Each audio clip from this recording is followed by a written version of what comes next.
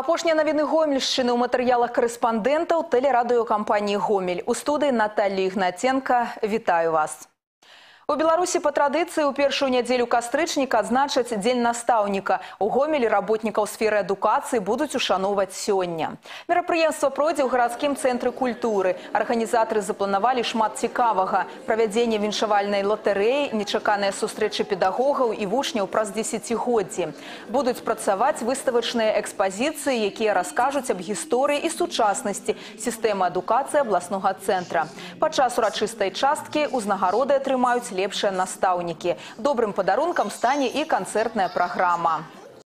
Развіццё транспартнай інфраструктуры, адкрыццё новых аб'ектаў гандлю і будаўніцтва камерцыйнага жылля. Інфармацыйна-прапагандысцкая група гомельскага гарвыканкама адказала на пытанні, якія хвалююць работнікаў гомельскага домабудаўнічага камбіната. Алег Сенсіроў назіраў за ходам сустрэчы.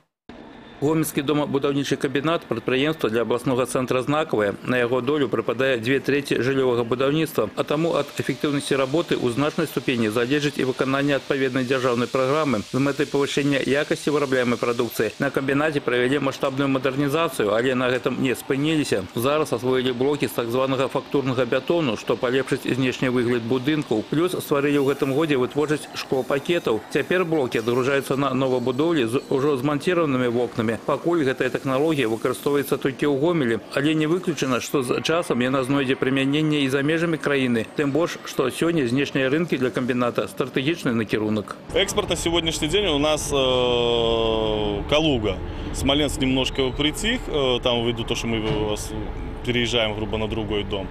Это первый наш экспорт. И экспорт мы оказываем сейчас экспорт э, трудовыми ресурсами без э, ввоза своей продукции на Казахстане. Падчас сустрэчы інфармацыйна-прапагандысцкай групы гомельскага гарваканкама з работнікамі домабудаўнічага камбіната забароненых для абмеркавання тэм няма. Некага хвалююць пытанне развіцця транспартнай інфраструктуры, некага будаўніцтва падземных пешаходных пераходаў. Старшыня гарадскога выканаўчага камітэта Пётр Кірыченко не ўтойвае. Сёння ўсё залежыць ад наяўнасці сродкаў, а таму вырашыць усе праблемы адразу немагчыма. Той жа ўсходні абход зусім не лішняя для горада транспартная артэрыя каштуе 1 трыльён 200 мільярдаў рублёў. Гэта маль палова палова гарадскога бюджэта. Па гэтай жа прычыне і пры будаўніцтве новага жылля першачарговая ўвага наяўнасці інжынерных камунікацый, бо гэта значна зніжае кошт работ. А вось у тым, што жыллёвае будаўніцтва ў гомелі будзе працягвацца, сумненняў няма. Прычым тычыцца гэта ўсіх відаў жылля, у тым ліку камерцыйнага, на домабудаўнічым камбінаце на яго вялікія надзеі. Гэта дадатковыя аб'ёмы, а значыць і эканамічная стабільнасць. Тут все надо сравнивать э, как бы с тем, с потребностью этого жилья и с возможностью ее строить. Я считаю, что вот у нас этот э, на сегодняшний день баланс, он выдержан. Мы абсолютно вот э, и на этот год, и на следующие мы видим, имеем площадки, которые можно работать, которые можно использовать для строительства э, жилья, в том числе коммерческого. Олег Сентеров, Дмитрий Родянко, телерадиокомпания «Гомель». У гомелі ў інстытуце радыёбіялогіі нацыянальнай акадэміі навук беларусі адбылася міжнародная навуковая канферэнцыя удзел у ёй прынялі спецыялісты з беларусі рассіі украіны эстоніі і японіі галоўнай тэмай стала вывучэнне практычных напрацовак гомельскіх вучоных па рэабілітацыі забруджаных тэрыторый на канферэнцыі абмяркоўваліся вынікі навуковых даследаванняў па актуальных праблемах наступстваў радыацыйнага забруджвання гаворка ішла аб формах радыацыйнага кантролю і ацэнкі дозапраменьвання новых сродках обороны і спосабах мінімізацыі рызыкаў. Вопыт гомельскіх навукоўцаў уяўляе асаблівую цікавасць для іх калегаў з іншых краін.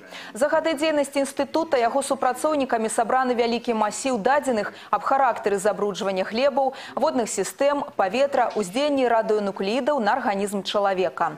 Многія распрацоўкі ляглі ў аснову заканадаўчых актаў, якія рэгламентуюць пражыванне і жыццядзейнасць насельніцтва на забруджаных тэрыторыях.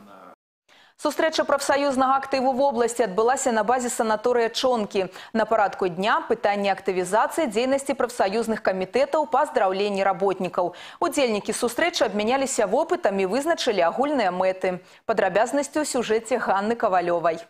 Сёння на Гомельшчыне дзве прафсаюзныя здраўніцы санаторыі прыдняпроўскі і чонкі. У абедзвюх уже склаўся свой вобраз у карціне здараўлення вобласці. У вялікай ступені ён прывабны для адпачываючых з-за мяжы. Разам з тым на сустрэчы прафсаюзнага актыву была пастаўлена задача па максімуму прыцягваць сюды жыхароў і мясцовага рэгіёна. Это будет выглядеть таким образом. То есть э, мы планируем, чтобы из тех средств, которые остаются в профсоюзном комитете, с учетом э, работы вместе с нанимателями, изыскивали дополнительные средства для приобретения путевок. Гости ознакомились з матэрыяльна-тэхнічнай базай санаторыі чонкі, нават змаглі на сабе выпрабаваць некаторыя працэдуры. У цэлым здраўніца спецыялізуецца па пяці напрамках. З прыходам новых тэхналогій у сферы аздараўлення растуць і патрабаванні адпачываючых. Справядліва будзе адзначыць, што прафсаюзныя здраўніцы паспяваюць за гэтымі зменамі. Пералік працэдур пастаянна расце. Разам з тым на сустрэчы паставілі важную задачу не спыняцца на дасягнутым і праводзіць гэтую працу пастаянна. Ганна Кавалёва, Ігор Марышченко, тэлерадыёкампанія «Гомель».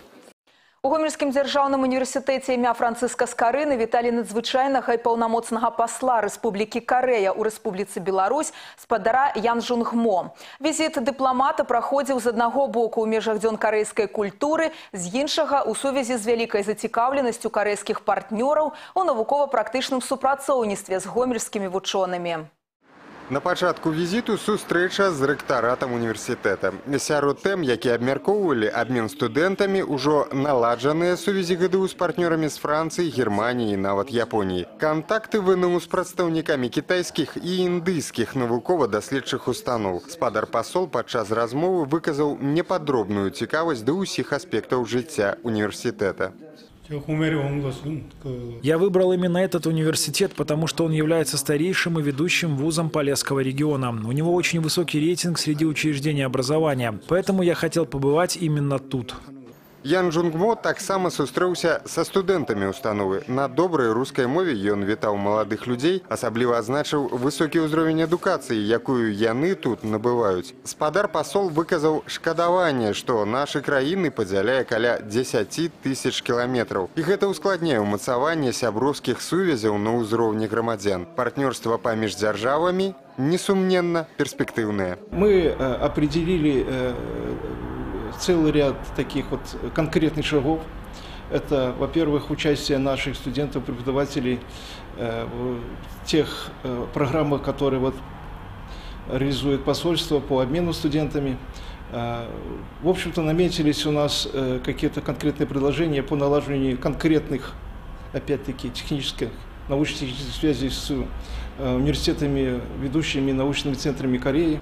За гэтым стаіць у тым ліку зацікаўленасць карэйскай карпорацыі LG ў распрацоўцы, якую атрымалі навукоўцы ГДУ. Гаворка ідзе аб спецыяльным пакрыцці для дысплеяў мабільных тэлефонаў. Відавочна, толькі гэтым партнёрства не абмяжуецца на падыходзе новыя распрацоўкі. Віталь Доўгі, Дмітрий Радзянка, тэлерадыёкампанія «Гомель». Урачыстай лінейкай у Гомелі адзначылі 25годдзе беларускай рэспубліканскай піянерскай арганізацыі. Сёння гэта самае вялікае грамадскае аб'яднанне для дзяцей. У краіне чырвона-зялёныя гальштукі носяць больш за паўмільёна навучэнцаў. Працягне Кацярына Сапельнікава. На алеі герояў з усёй вобласці сабраліся 200 піянераў і акцябрат. 50 з іх упершыню далі ганарову клятву піянера. Натхняльныя віншаванні дзеці пачулі ад лідараў БРПА, беларускага дзіцячага фонду і ўправлення адукацыі гомельскага аблвыканкаму. У гонар юбілею для піянераў правялі ўрокі мужнасці і арганізавалі экскурсіі. Также совпало это со слетом, который проходит у нас один раз в три года с отчетно-выборным, где мы подведем итоги, расскажем перспективы на будущее. Галоўны прынцып работы арганізацыі падтрымка пачынанняў саміх дзяцей. Акрамя таго, у бліжэйшыя тры гады плануецца распрацаваць адзіную сістэму прызначэння кандыдатур на пасаду старшыні. Дарэчы, у гомелі гэтая пасада засталася без кадравых зменаў. Старшынёй гомельскай абласной піянерскай арганізацыі зноў абралі Артёма Карпенку. Кульмінацыяй урачыстых мерапрыемстваў стаў святочны канцэрт. Когда за тобой стоят ребята, и ты понимаешь, что ты не один аж в поле воин, а что нас много, то от этого, наверное, появляется уверенность в завтрашнем дне. Кацярына Сапельнікова, Дмітрый Радзянка, Ігар Марышчанка, тэлерадыёкампанія Гомель. І гэта быў апошні сюжэт выпуску. У студыі працавала Наталлі Ігнаценка. Усяго добрага і да новых сустрэч у эфіры.